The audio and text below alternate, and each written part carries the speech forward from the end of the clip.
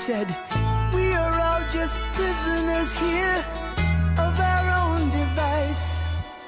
And in the master's chambers, they're gathered for the feast. They stab it with their stealing eyes, but they just can't